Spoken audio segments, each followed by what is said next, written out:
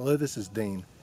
If you need a clutch replaced in your handheld auger, you come to the right place. If you've never ever done it before, you've also come to the right place. So let's get after it. My particular auger is a Thunder Bay model, available at most box stores. It is a Y as in Yankee, 43Z as in Zebra 08, which means it has an 8 inch auger. Although this auger is a real workhorse, we really put it through its paces last year when we dug 12 holes for some fruit trees in some very rocky soil and another 24 holes for a greenhouse. Shown here is the exploded diagram for the owner's manual that I downloaded off the internet. My particular clutch part number was 430004 and I'll provide for you underneath this video both the location of the owner's manual and where I ordered the part from. Now with the patient up on the table, let's go ahead and remove the auger by removing the bolt that holds the auger to the output shaft from the engine.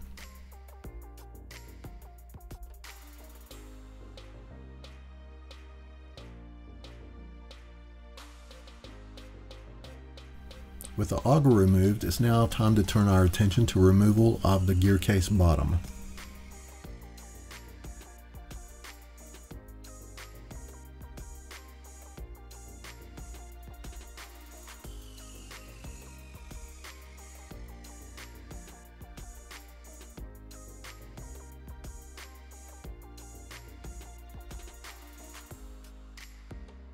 Note here that we placed the engine assembly on some black plastic and we were also wearing some gloves in case the transmission assembly was full of oil instead of grease. Fortunately, it was grease.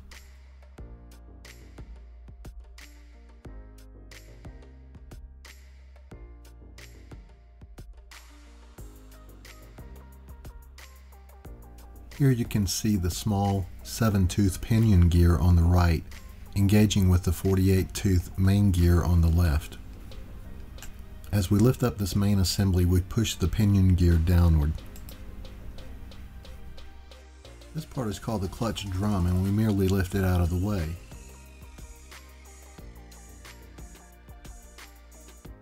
Anytime we're working with a compressed spring like the one on this clutch, be sure and wear your safety glasses. I grabbed some slip jaw pliers placing the outside jaw on the outside of the casing so you don't mar anything on the inside and wrapped it around the bolt to use as leverage so I could use my 17 millimeter here and loosen the first bolt. Throw your gloves on for safety and rotate the clutch around 180 degrees. Now we grab the loose bolt and put our socket around the second bolt. I tried this with two separate sockets, but it just won't work because when you're loosening one bolt, you're tightening the other. Now with both bolts loose, be careful as you unscrew them not to lose the washer down inside the assembly. Don't ask me how I know this. Taking the second washer out now.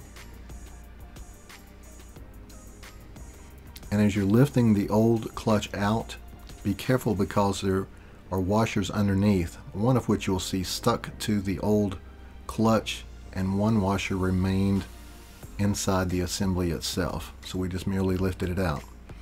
Now the fun begins, the new clutch installation. We begin by placing a couple of the washers down inside the assembly. And then the new clutch gets set into place, being mindful of the arrow right there. Now some blue thread locker that comes in a red container. Don't ask me, I don't know why. Don't forget that these two bolts have washers on them as well.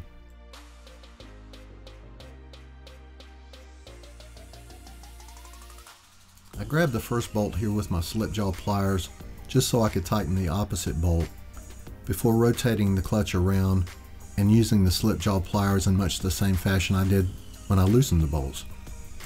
Of course you can do whatever you please, whatever works for you, as long as you don't scar up the inside of the housing.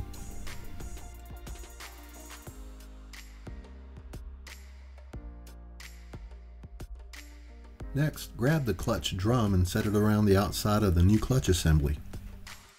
As you set the gear case top back down onto the pinion gear, allow it to engage the main gear. Orient the gear case bottom properly and set it in place.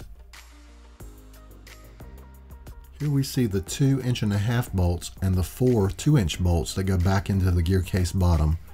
Be sure and apply blue thread locker before reassembly.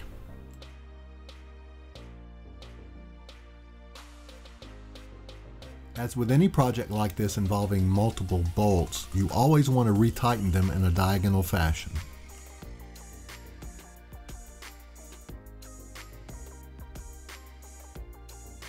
We're almost at the end of this project. Secure the auger by sliding it back up onto the shaft output from the engine. I found that the hole in the auger collar had to be perfectly aligned with the hole in the shaft coming out of the engine. Therefore, I incorporated the use of a punch and a rubber mallet.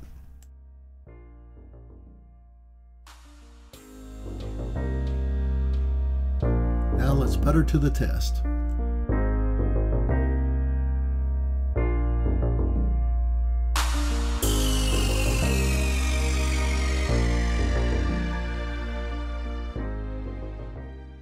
We just finished planting six rose bushes for my dad. He's happy, I'm happy, and I hope you're happy too with watching this video. Thank you so much for joining us. I hope you'll subscribe and tune in for our next project. Thanks. Hello, this is Dean. I've got a handheld auger that needs a new clutch. Hello, this is Dean. Welcome to my video.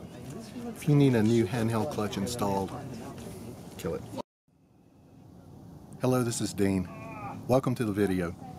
If you've come here because you need a clutch replaced in a handheld auger, you've come to the right place. If you've never ever done this kind of thing before, hello, this is Dean and welcome.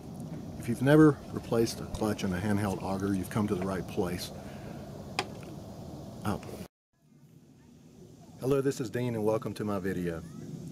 Maybe you need a clutch replacement in your handheld auger. Maybe you're just here to see the video outtakes at the end. Whatever the reason, I'm glad you're here. So let's do a clutch replacement today. What do you say? Let's get after it.